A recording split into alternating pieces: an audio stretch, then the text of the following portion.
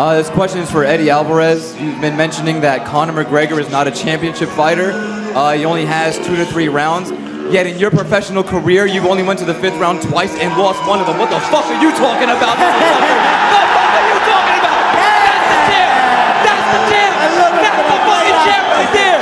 Fuck you.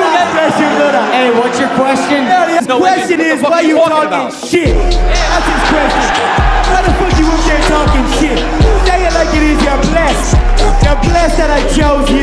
You're blessed that I chose to whoop your ass next. Say it like a fucking is.